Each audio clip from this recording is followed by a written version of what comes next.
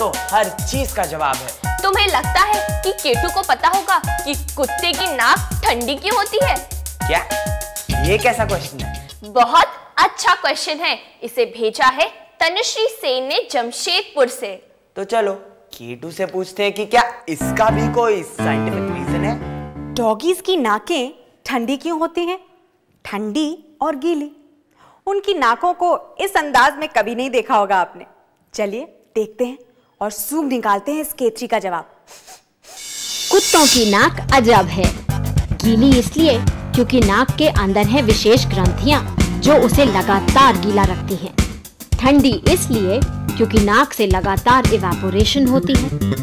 कुत्ते के sweat glands सिर्फ़ पंजों में हैं। इसीलिए वो जीभ बाहर लटकाकर हाँफता है और नाक से भी गर्मी दूर भगाता है। गीली नाक ही सूंघने में मदद भी करती है।